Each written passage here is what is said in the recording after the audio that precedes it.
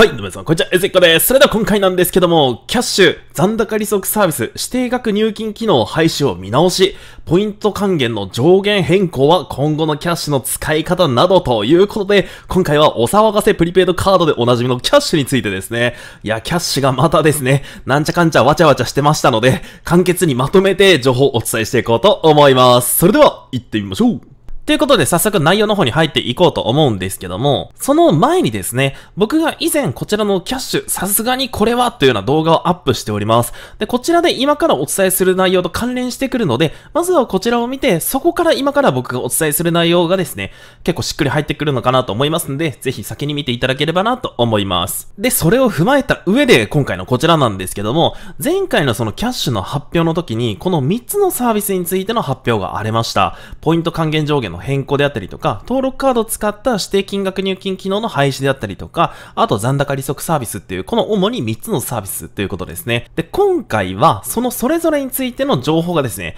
まあ、アップされておりましたので、一つ一つお伝えしていこうと思います。で、まず1番目と言いたいところなんですが、まず先に見ていただきたいのはここなんですよね。3番目の残高利息サービス、ここから見ていきましょう。で、今回のですね、公式の発表のページをそのまま引っ張ってきました。残高利息サービスの内容、見直しについてということで、こちら青枠のところですね。12月1日火曜日付で残高利息サービスのご案内をいたしましたが、各方面より大変多くの反響をいただき、当初想定していなかった混乱が生じる懸念があることなどを踏まえ、予定していた12月8日火曜日からのサービスリリースを一旦中止し、サービス名称及び内容を見直すことといたしましたということでございました。念のためおさらいなんですけども、12月の1日時点の時なんですが、一応こんな風に銀行口座などから入金した残高に対して年利1%の残高利息を毎月付与しますよという風に発表されていたんですが、今回のこの内容を見たら、まあ、今のところこれをまあちょっと僕はバッテンという風にしたんですけども、見直すということになりました。まあ、今後どうなるかっていうのは今の状況ではわかんないんですけども、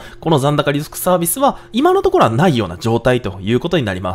あ、僕自身は正直キャッシュにお金を預けて残高利息サービスをちょっと使おうかなっていう風には、全然あの前回の動画でもお伝えしたんですが、使う予定は今のところはないなっていう風に思ってたんですけども、思ったより結構どんな反響があったのかちょっとわかんなかったんですが、結構サービス利用される方も多かったのかなっていう風に思っております。今日どうなんですかね？この視聴さんで結構もうすでにお金預けましたよという方がいらっしゃいましたらぜひコメントください。で、ちゃんと続きにもこんな風に出ておりましたね。なお、12月1日以降に銀行口座などから入金を実施されたお客様につきましては、近日中に別途ご案内をさせていただきますので、今しばらくお待ちいただきますようにお願いいたしますということでございました。なので、今回のこの残高利息サービスを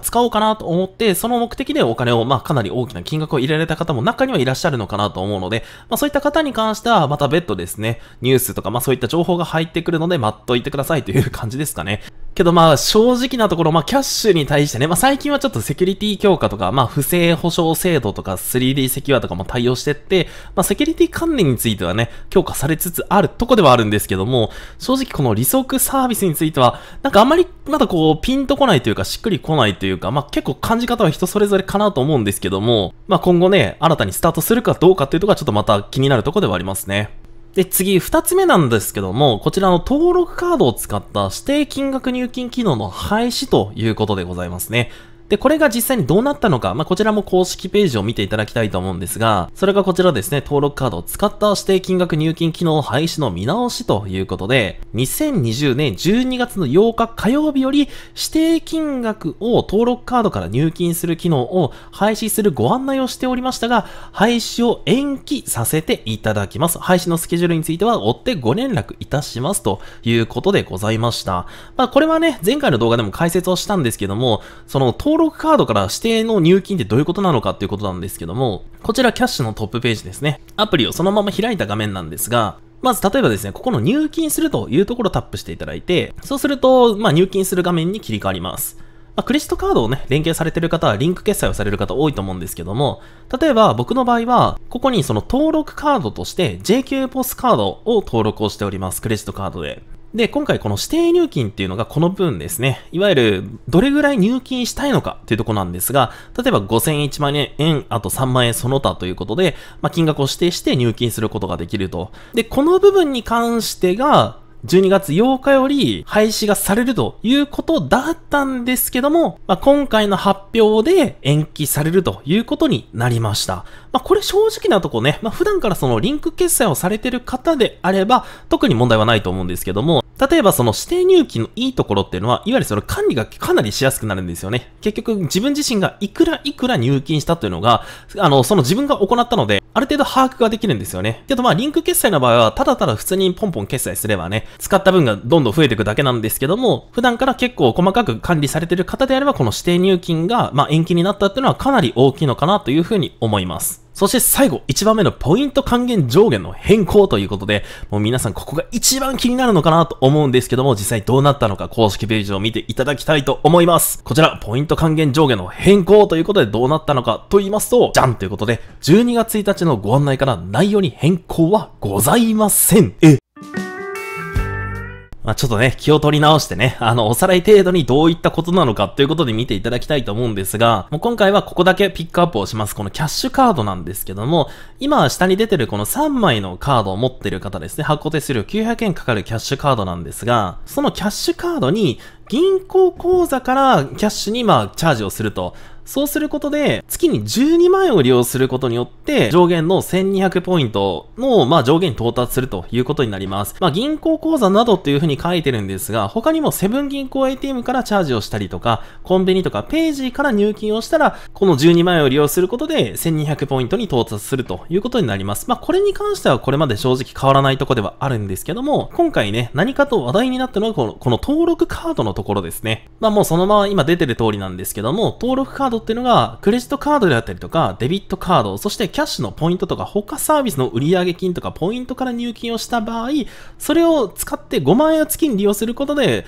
上限の500ポイントに到達するということになります。なのでね、例えばそのキャッシュで普段から、まあ、いわゆるそのリンク決済を使って決済されてる方、クレジットカードを使って二重取りをされてる方に関しては、もう5万円を使ったらキャッシュのお仕事は終了ということになります。ちょっとこれはこれでかなり寂しいですよね。ですけども、まあ、捉え方によっては、普段からその月に5万円以上キャッシュを使ってお買い物されないっていう方であれば、そんなにまあ打撃とかまあ、そんなにダメージはないのかなと思います。けどやっぱりこう、月に12万円と5万円ってかなりのまあ差があるのでので、もうずっとね、普段からキャッシュをもう私生活でもうほぼほぼ全部をキャッシュで使ってる方に関しては、まあかなり痛いニュースになるのかなと思います。なので今回の発表で、まあ、一応今のところは2020年の12月11日の金曜日より、まあ、普通にスタートするということになります。けど正直ね、本当今からどうすればいいのかっていうで、まあちょっと迷うとこではありますよね。何を使って決済をしたらいいのかっていうことで、まあ今後どんな決済方法がおすすめということなんですが、まあ普段からね、僕のチャンネルを見てくださってる方であれば、もうある程度のその対策とかも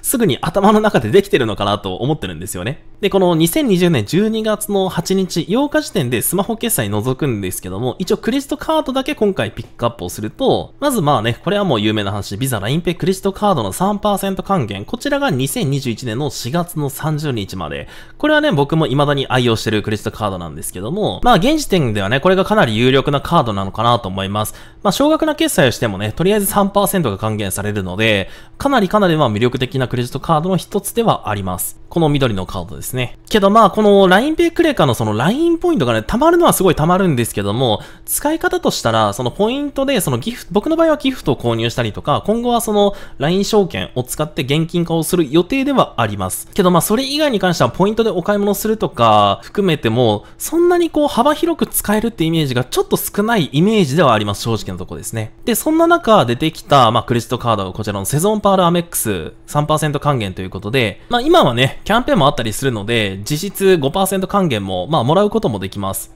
ちなみにそれに関しての解説はこちらの動画で解説してますんで、まず見られてない方はぜひ見ていただければと思います。で、その3%還元に関しては、動画内でもお伝えしてるんですけども、2022年の3月31日までということで、一応チャットオペレーターさんからそういう風に伺っております。まあ、そちらもね、動画でお伝えしてます。このカードに関しては、まあ、1000円ごとに1ポイント。そして、クイックペイ決済に限るということなんで、なので、まあ、条件的にちょっとまあ、少しきついとこではあるんですけども、まあ、1000円以上のお買い物するときとか、まあ、そういったときは、まあ、クイックペイ使えるときは、この1000ゾンパールアメックスを使おうかなというふうに思ってます。で、その時にね、溜まる永久不滅ポイント。これはね、かなり幅広く使えるイメージではあるので、かなりこれに関しては、まあ、使い方によってはかなりお得なのかなというふうに思います。まあ、僕の予定ではね、この Visa LINE Pay クレジットカードの4月30が終わった後に Kyash を使う予定ではあったんですが、月に5万円以上の決済をすることは、まあまあ生活の中ではまあ多かったりはするので、正直キャッシュをメインカードにするかっていうのは正直現時点でもやっぱ迷ってるとこではあります。ですけども、一応この期間内に関しては、やっぱりビザラインペイクレジットカード3%還元を使って、なおかつこのセゾンパルアメックスの3%還元も、まあうまく使っていこうかなというふうに思っております。まあそんなこんなで今回はキャッシュの発表、まあキャッシュのまたアップデートについてのお知らせについてね、まあ簡単ではありましたけどもお伝えさせていただきました。いやほんとね、なかなかこのニュースがあるごとにツイッターのトレンドとかにアップされるので、あ、またキャッシュどんな発表したのかなっていう風にちょくちょくなんか気にはかけてはいるんですよね。3D セキュアが出た時とかはね、ほんといい意味ですごい盛り上がったんですけども、まさかね、今回の、まあ前回の動画も見た時のコメントもそうなんですけど、皆さんコメントね、たくさんしていただいてありがとうございますいます。まあそこからね、もう今後キャッシュについては点々点っていうようなコメントも結構多かったので、ほんとここら辺ぐらいでキャッシュを今後使うかどうかっていうのが大きく分かれてくるタイミングにはなりそうな、やっぱり気もしますよね。まあぜひですね、今後私は僕はこんなカード使ってますよとか、やっぱこの組み合わせが最強ですよみたいなっていうコメントがあれば、ぜひ書いていただければなと思いますということで、本日の動画は以上です。ご視聴どうもありがとうございました。